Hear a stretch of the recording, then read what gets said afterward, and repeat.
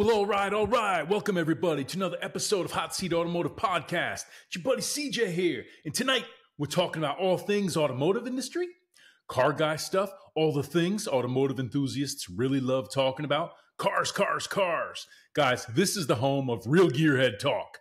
Real gearhead talk. This is the place to be. Gearheads, petrol heads, car guys, car girls. Welcome everybody. If you're a current subscriber, thank you so much. Love you guys. Welcome back. If you're new to the channel, please do give me a like and subscribe.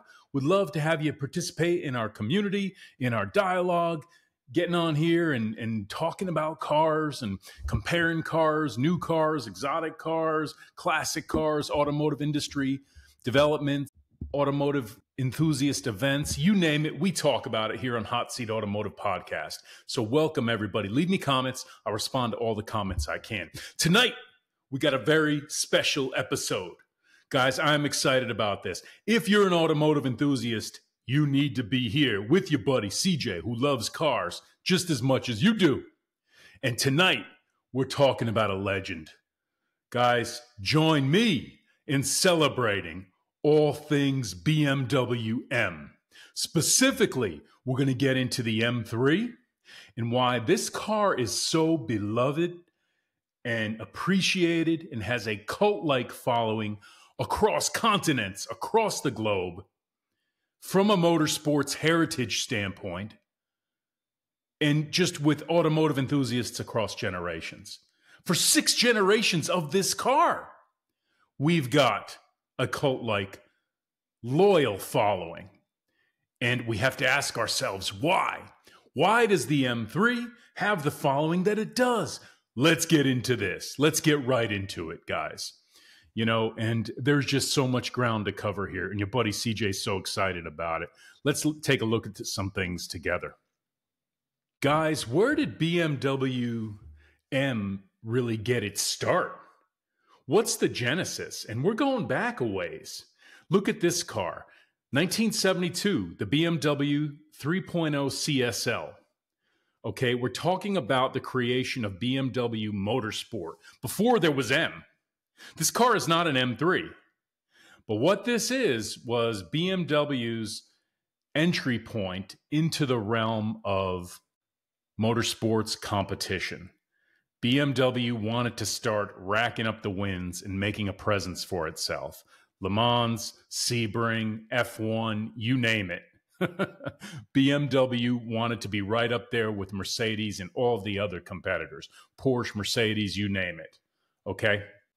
So much of what we think about today in terms of an M3 or an M4, we'll talk about that later, can be traced back to this car, the BMW 3.0 CSL. We're talking about an inline six producing about 200 horsepower, about 215 foot pounds of torque. But you guys familiar with homologation? This is where the regulatory body that runs the motorsports events, the racing, the sanctioning body for the various races says, okay, BMW, Ferrari, Porsche, whoever, if you want to compete in this bracket or area of racing, you must produce X number of consumer available production cars that allow you to take that platform and compete in motorsports in the racing circuit. So that's what we're looking at here. This this BMW uh, 3.0 CSL was really the beginning, and in many ways, BMW's entree point into the realm of motorsports competition on a world stage. Any discussion about the BMW motorsports history and the M badge has to include a discussion of the BMW M1 supercar. Mid engine, rear wheel drive. This thing came out in 1978, had assistance from other manufacturers whether it's Lamborghini or others who played a part in this. This also had an inline six engine. Talking about a vehicle that topped out at around 165 miles per hour. This was really the first M car. If we want to talk about the lineage going back to where that M badge first manifested itself, if you will. The M1, by virtue of its model number, is kind of really where all of this started. They only made around 450 of these cars. They're super highly collectible. And, you know, kind of mixed results in motorsports. I'm not uh, I'm not going to sit here and dissect the full history of motorsports. That's not really what we do on this channel, but I know that this car had some success, but then due to timing and some other things going on in the motorsports realm, I, I don't think it was what BMW wanted to get out of it, if you will. But again, a part of that M heritage was this M1 mid-engine rear-wheel drive supercar look at those wheels. If that doesn't just scream late 70s, early 80s, you know, the funny thing about this, and of course it's got the pop up headlights as well, it's just such an indicator of that era.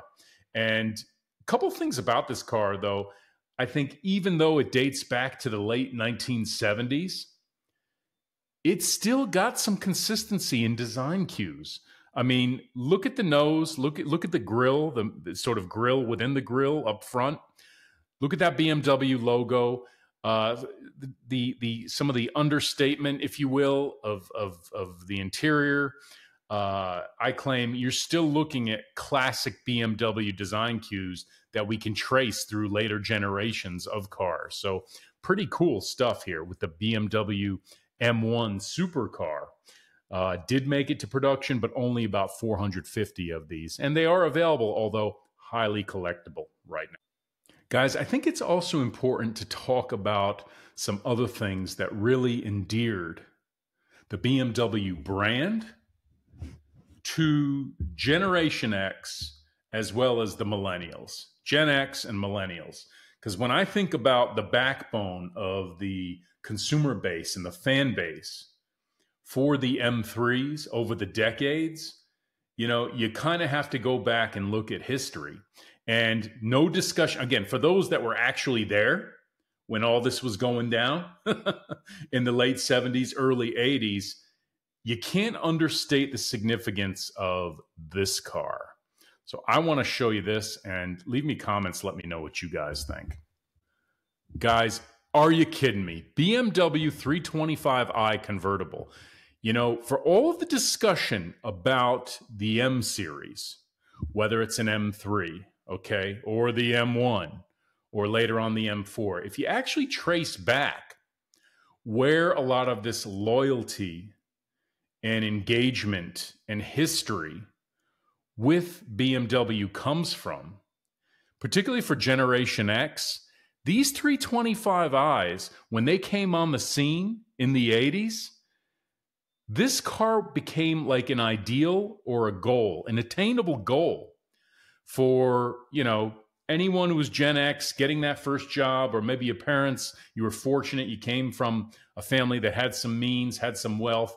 Maybe you had one of these, you were able to go to school with it, or maybe your, your mom or your dad had one. This cart was a status symbol. This was an attainable status symbol.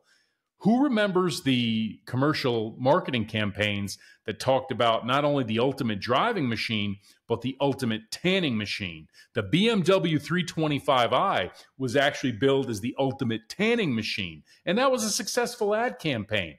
And that goes into the full lore and history, I say, and the appeal and some of that loyalty we've seen over the decades with BMW. You know, this is a rabid fan base when you're into BMWs, it's not just transportation, okay? It's it's the racing heritage, the motorsports heritage, the performance heritage, the lineage of the different lines and generations of these vehicles are very important to BMW enthusiasts. Okay? And it's not unlike Porsche, it's not unlike Mustang, it's not unlike Corvette, certain other cars where it's more than just a car if that makes sense. This is this is really where you talk about automotive enthusiast loyalty to a brand that gets into that realm of passion. I mean seriously how many you know you talk to enough bmw enthusiasts and you really get into it they're really into their cars. And i i claim that a lot of that traces back decades. And it's not just like the M1 or the 3.0 CSL where so much of that comes from, but it's this car, the 325i, that was mass produced that so many Gen Xers and even millennials drove around in. Their parents had one. You know, it just, and, and, and the, the other cool thing about it is the 325i has some of those design cues that have remained consistent with BMW over the years. The kidney grills, that little grill within a grill, the four headlights, the fog lights, the wheels, the overall shape of the car, some of that boxiness, if you will, eh, you know, the understated interior. All of those things have lent themselves to a consistency, to a loyalty, uh, you know, just an appreciation of brand that has always stood for European sophistication with a performance heritage, legitimate driving experience, being a driver's car, with really handling, steering, performance, acceleration that was right up there with some of the best cars on the road at the time. And this has been a consistent theme for BMW across the decades and across the generations. But again, don't sleep on the B- the significance of the BMW 325i. Was the 325i a performance monster? Not at all. It was a light, sporty, fun European sports car, you know, that that had some some unique design attributes over every other Mustang or Camaro or Corvette that you'd see in the market, right? But the key thing about this was that it was mass produced and attainable. And a lot of folks really got into these cars and a lot of the the loyalty to the BMW brand, the 3 series and ultimately the M3 can be traced back, I claim, to this 325i. Because back in the day, not just anybody could afford the premium that you paid for the first gen M3. And since we're talking about it, let's take a look at it. Guys, here it is the legend, the absolute legend, the E30 M3 came out in 1986. 1986 is a big year. If you're a BMW person, you're a BMW motorsports enthusiast, you're an M3 enthusiast, 1986 is your year because that's when the E30 factory race car came out. 1986 BMW E30 M3. Are you kidding me? Interestingly enough, this car had a four cylinder. You're talking about around 190 horsepower, somewhere around there. Uh, so this thing, you know, wasn't, you know, huge displacement. It was more of a high rev, dual overhead cam, uh, four cylinder, came with a five speed manual transmission.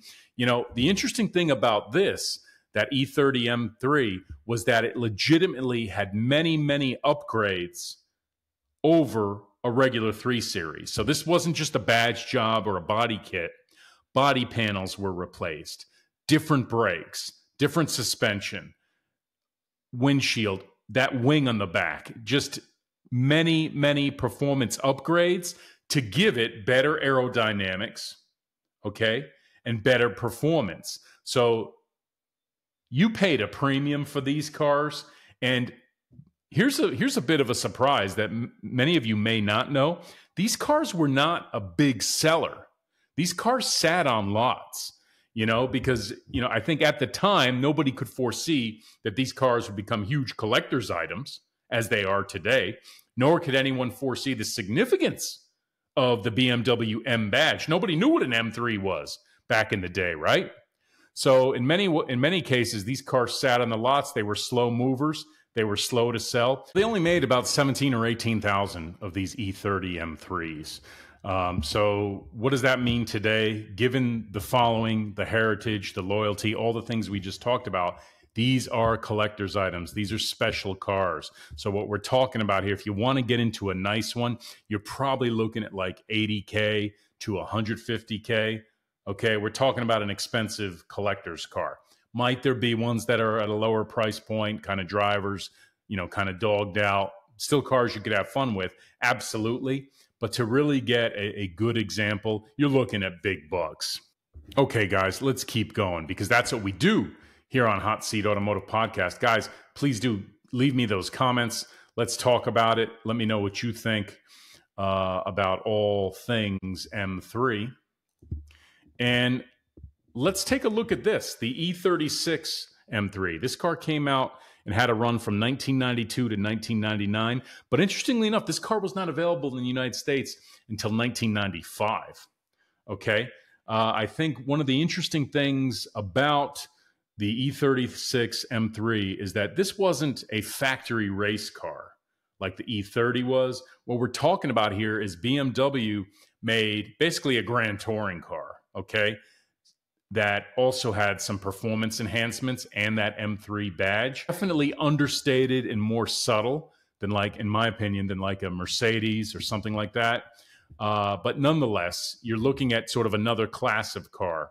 And these cars, the big thing to know is that this was the introduction of that inline six in an M3. So this was the first formal introduction of what was to, to be sort of the bedrock for nearly all M3s, nearly all. We'll talk about that in a moment. That inline six, you're talking about 240 to 300 horsepower. Um, in North America, a lot of folks, you know, will kind of begrudge the fact that we got the the lower power version of that power plant, uh, less powerful engine. This car had uh, not only a manual transmission available, but also an automated manual. So you did have an automatic option in this car. If you wanted to snag one of these today, you're looking at between 20,000 and 50,000. A little bit of research I did. You can snag good examples, drivers. These cars respond well to mods. Uh, a lot of folks like to buy these and build track cars out of them. Uh, some of the criticism criticisms of this car in, include the fact that you know the interior wasn't great.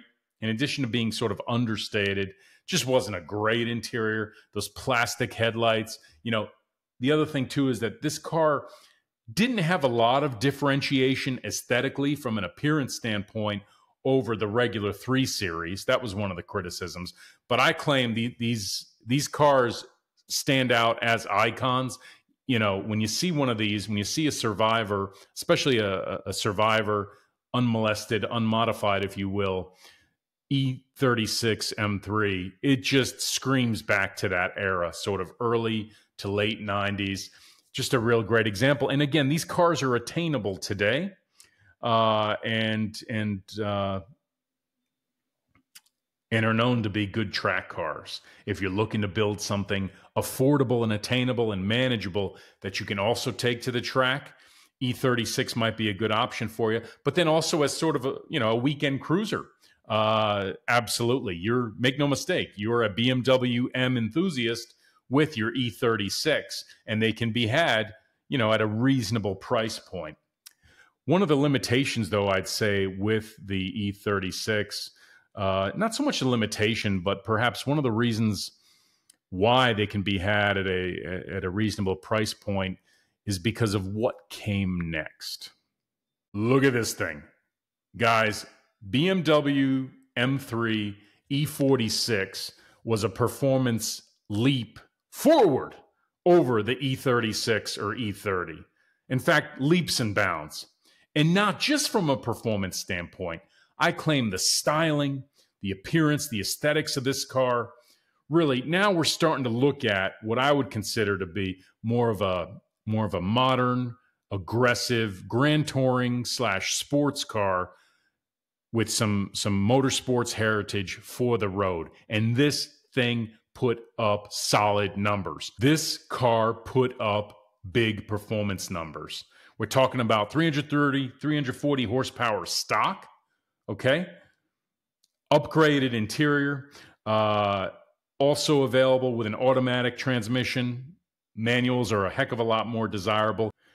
The story on this car is that it almost throws shade on the E36 in some ways, just because the amount of performance out of the box you can get with an E46 is so much better than an E36. Talking about somewhere around 100 more horsepower stock. Also, I claim the appearance and the aesthetics. This car starts to look a lot more modern, or maybe another way of saying that is the E36 is starting to look a bit dated. And again, it's basically a classic car now, the E36. But having said that, this E46, I claim, just looks so much more substantial and chunky and sophisticated than that E36 in every way. And it also had the performance above and beyond where that E36 was. So these cars are highly desirable. They made about 85,000 of these cars. So quite a few of them out there. A lot of the ones that you see out there used are, are well loved. They've been driven a lot. So to find a good example, you know, a survivor that hasn't been ragged out, that hasn't had the wheels driven off of it, you know, you're probably looking at close to 60K, maybe more. You can snag these anywhere from 20K to 60K. But in the lower end of that range, you're going to have higher mileage cars or cars that have been, you know, torn apart, wrenched on, modified in accidents, that type of thing. To get a nice one, you're going to have to pay, especially in a desirable color with a with a trim package that you might want. But make no mistake, the E46 was a big step up over the E36 in so many ways. Guys, let's talk about what followed the E46 because things just might get controversial. Look at this E90 BMW M3. We're talking about the introduction of an M3 with a V8 as the standard engine. Are you kidding me? M3 muscle car. We're talking about more luxury than what were, was available in an E36 or E46. But the big news here is that 400 horsepower V8. So a departure from the inline six that was available in the E36 or the E46, and certainly leaps and bounds ahead of where the four cylinder E30 was. This car was this car put up big performance numbers, just a different sound, a different feel, a different engine platform. At the same time, though, this car was facing big competition. You know, if you think about what Mercedes Benz was doing with AMG, Audi with cars like the S4, so on and so forth, you know, BMW had some serious European competition during this era of the E90 and the various iterations of the E90. You had the E90, the E92, the E93, which are sort of iterations on this platform. Interestingly enough, the E90 M3 was the first M3 available with a true dual clutch transmission. So, dual clutch, automated transmission available. This car ran from 2007 to 2013. They built about 65,000 of these E90s, which is kind of interesting. Today, if you want to snag one of these, they're available, you know, uh, between $18,000 and $60,000. Now, naturally on the lower end of that continuum you're going to have higher mileage cars with potential issues cars that have maybe been in accidents if you want a true survivor, low mileage, unmolested, something that's been a garage queen, something like that, or very well maintained and cared for, you're going to be looking at forty, fifty thousand, sixty thousand dollars, which puts you at a price point with some other incredible cars as well. But if you really want one of these, if you want to have that that E90 with that V8 engine, this would be the one to snag. V8 rear wheel drive BMW M3. Are you kidding me? Guys, for the next generation, BMW went back to the straight six. Let's take a look at this together. BMW F80 M3. We got a few things to talk about here, guys. Number one, this is the introduction of the twin turbo inline six, putting out over 400 horsepower stock. So there's that. Number two, this is where there was the split the M3 is now specifically a four door sedan, and the M4 is the coupe and convertible. So goodbye to the two door M3. Hello to the M4 coupe. Other interesting things about this car uh, in, include the fact that you know BMW. This is when you're getting into a modern, high tech car here, guys. A lot of technology, a lot of electronics in this car. They also used aluminum and carbon fiber to sort of lighten the load here, the overall vehicle weight to get some better performance. You know, a lot of engineering goes into these M3s and a lot of technology advancement. This isn't just a badge job. Like, there's a reason why these cars have the following that they do and why BMW has sold literally tens and tens and tens of thousands of these over the years because these are legitimate performance sedans and coupes. Unbelievable. And this car was really the introduction of that forced induction, in this case, twin turbo, where, you know, even though even though you, you lost two cylinders from the E90 to the F80, you actually gained output and performance, which is kind of impressive and kind of cool. Since there was the split between the M3 and the M4, total manufacturing production numbers are a bit off. So we're looking at like 34,000 M3s. That doesn't account for the two door coupes or the convertibles. We're talking about the four door M3 here, looking at about 34,000 of these manufactured in that F80 generation. If you want to snag one of these today, there's quite the price range. You can get into one 28, 30, $40,000, higher mileage. You know, you could step up for a lower mileage example, 50, 60, $70,000. So again, you're looking at a not so inexpensive car this is a European performance car. It's a BMW. It's also a high tech car. You know, I would say go into this eyes wide open. If you buy one of these, you have to consider warranty, mileage, maintenance. You know, these could be factors affecting total cost of ownership. That can be said for pretty much any car, and certainly any of the BMWs on the list here tonight that we're talking about, but just really something to be conscious of. I, I do know folks who've owned these cars any generation of these these European cars, particularly the BMWs, not not just the BMWs, but cost of ownership, maintenance, repairs can be high. It's a consideration, but absolutely incredible performance coming out of this F80 M3. Guys, let's get controversial because why not, right? What came after the F80? Let's get up to the modern era here, guys. Here it is. A little bit of controversy tonight in the world of BMW M3 enthusiasts. Let's talk about it. The G80 M3. First things first, we got to talk about the grill. Now, when this first came out, there were memes, there was controversy, there was a lot of shade thrown at it. I'll be honest with you. What does your buddy CJ think? I kind of like it. I like it because it is disruptive. It doesn't look like every other M3 or every other car on the road. So, like so many other things, I think this design and this grill has really started to grow on folks. Will history be kind or unkind to it overall? I don't know. I'm seeing more and more of these on the road, uh, but it is a departure from sort of that mini kidney, dual kidney gr- grill that we saw in so many other previous generation M3s. Yeah, it's kind of in your face with those uh, big black fangs, if you will, or those two big black kidney grills. Listen, I think they look fantastic.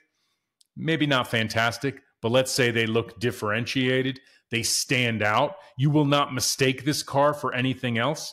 Okay. The other thing to note about this, in addition to sort of that controversial grill, is big performance. We're talking about a 500 horsepower M3 out of the box. When you look at the competition trim, you know, this is a this is a very fast, very quick car, a lot of power, a lot of torque. Also with a twin turbo 3.0 v- straight 6. These cars are being modded and folks are getting big power out of them with those mods. Another cool thing I think about the new M3 is that they are available in a manual uh, for those that need to have three pedals, although only in the rear wheel drive model. They're also available in an all wheel drive model, but you can only get the all wheel drive with a dual clutch automated transmission. The other, the other neat thing is the interiors. I claim BMW has done some really innovative, striking things with the interiors. You can option these out with sport seats and carbon fiber. They really look sharp and uh, you can really do some cool customization. Now, the one thing that none of us can disagree on, and leave me comments if you do disagree, but you can't, is that Isle of Man green is the best color for the new M3. Guys, what do you think? I think this Isle of Man green is really, really cool. If I was going to buy one of these cars, I would snag one in Isle of Man green. I've had my eye on a few. I also like the blue that's available in this generation of the M3. But I got to tell you, that Isle of Man green, absolutely beautiful and really different than kind of any other cars on the road. And I'm not a green car guy by any stretch, but I really like the Isle of Man green. In terms of special editions, BMW has done something really cool, and let's take a look at it together. Guys, what are we talking about here? Take a look at the BMW M4 CSL. Now, the CSL trim and nameplate harkens back to that 1970s 3.0 CSL. This is basically a track car for the road, if you will. This is a motorsports themed BMW M4, 100% street legal. Uh, it's got racing seats in it. It's got the styling cues.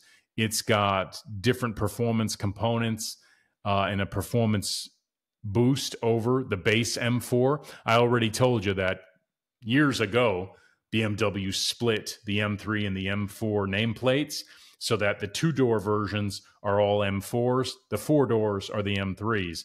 But this car is available as an M4.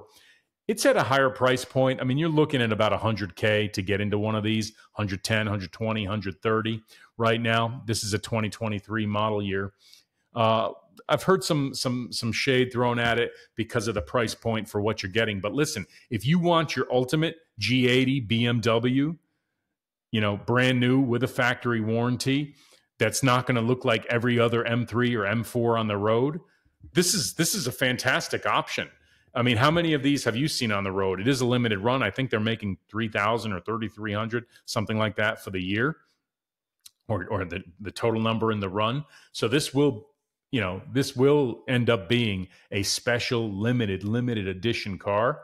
You know, the other down thing, in addition to the high price point, it's only available with those racing seats, to my knowledge. And I know they wouldn't be for me, for example. If you're looking for a car that's more comfortable, you do some miles in, depending on, you know, your age and your your body type, this car either is or isn't right for you.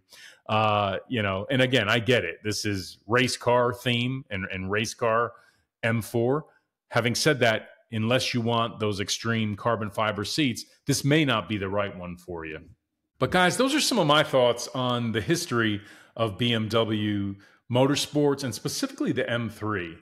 And I wanted to kind of talk about why this car has such a loyal following and why this car is so loved by BMW enthusiasts. And it's easy to tell why. You know, there is a lot to like with the BMW M3 and now the M4. Uh, it, it's just it, it, every generation has gotten better in many ways from a performance standpoint. More horsepower, more torque, better handling, more technology, more luxury, better interiors, styling and appearance packages, special editions. There has always been something cool about a BMW M3. You know, when you see it, it just screams motorsports. But then it also has that understated aspect that I think is pervasive with all BMWs, where it's not kind of in your face like certain brands of in, in certain model cars. There is a level of sophistication and understatement to it, but it also has that that air of very serious motorsports enthusiast and very serious performance car. And the thing about the BMW M3s is that they actually prove it. You know, the car actually is a legitimate performer. So, guys, those are some of my thoughts on the BMW M3. What do you guys think? Please leave me those comments. Do you have one of these cars? Have you owned one?